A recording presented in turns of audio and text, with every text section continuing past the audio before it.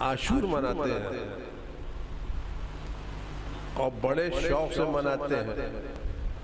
लेकिन दुनिया वाले जनाब इजारा की शहादत नहीं मनाते।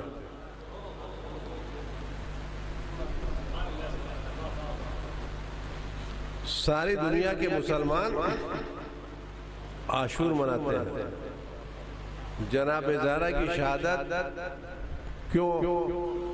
क्योंकि आशूर मनाएँगे ना। तो ये किसी के बातिल होने की दलील नहीं है।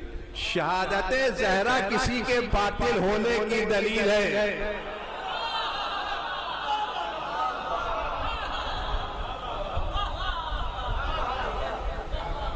क्योंकि जब शहादत आएगी तो किसी जालिम का नाम ज़रूर लिया जाएगा।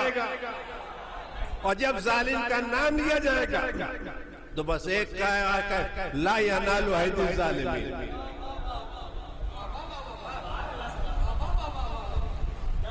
सहरा की मजलूमियत किसी के जालिम होने की दलील है और आप जालिम साबित कर दीजिए।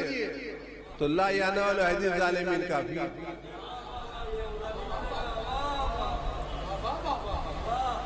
लिहाजा लोगों को आशूरा से हसासियत नहीं है। जनाब जहरा की शहादत से लिहाजा जब से ये जनाब जहरा की शहादत की मजलिसें शुरू हुई हैं वहाँ से बड़े लोगों को खलबली मच रही है। ये बिदत कहाँ से शुरू हो गई? ये नई चीज़ कहाँ से शुरू हो गई? ये नई शुरू नहीं है ये अली की हकानियत की वाजे दलीलें हैं।